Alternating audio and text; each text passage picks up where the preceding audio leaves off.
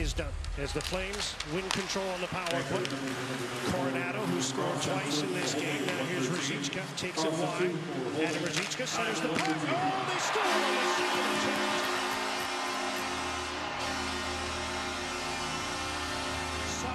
Made the first save, but Zary able to pop home the rebound. And Calgary on the power play makes it 8-0. Well, you got to block the puck coming towards the front of the net, and both defensemen were caught staring and not protecting the dangerous player. It's through the legs of Irwin. And late to get there is Suter, who's a forward, who had to come all the way down because Jett Woo was caught out too high. And Zary, yeah, that much